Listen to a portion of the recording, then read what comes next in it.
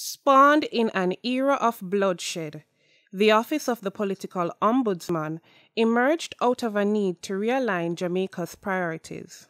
There was a sense that people did not believe that the aspirations of the 1930s and of the early 1960s were being honored and were being realized. So those who died in the strikes and the protests, the people who started the first political parties, the people who negotiated with London for independence, all of that, it seemed, we it's were now burning yes, all of yes, that. Yes. With development models emulated by other governments, political ombudsman Donna Parchment Brown noted that Jamaica's politics and its concomitant effects are what alienates us globally.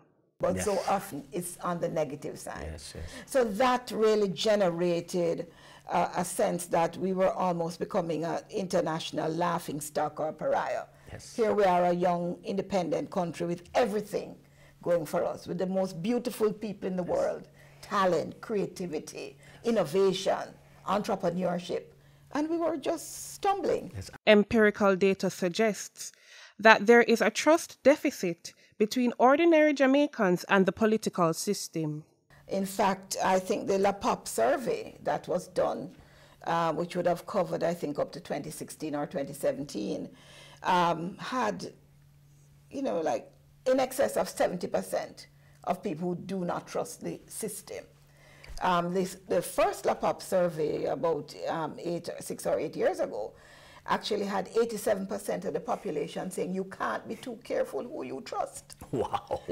Often criticized as an office with no teeth, Mrs. Parchment Brown advocates that her office be imbued with more power.